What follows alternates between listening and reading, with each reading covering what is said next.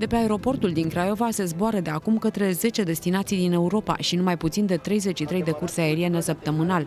Astăzi s-a lansat ruta spre Paris, iar din această lună se va zbura spre Veneția, Köln, Madrid și Liverpool. Oferă 10 rute la preț redus spre 5 țări. În acest Începând de astăzi avem două aeronave alocate, ce reprezintă o investiție de mai mult de 198 de milioane de dolari. Ne-am dorit în toată această perioadă după ce zburam pe Italia, pe Anglia, pe Barcelona, să putem să, să zburăm și către alte destinații. Și iată că o aeronavă vine în momentele următoare de la Köln și va pleca spre Paris.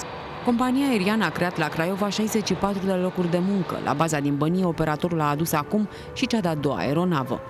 33 de aterizări la Craiova. Asta înseamnă un uh, trafic estimativ la 350-400 de pasageri, bani care vor intra și la veniturile aeroportului. Investiția Consiliului Județean Dolj în aeroportul din Craiova este de peste 15 milioane de euro din fonduri proprii, iar din proiecte europene de reabilitare a infrastructurii 24 de milioane de euro.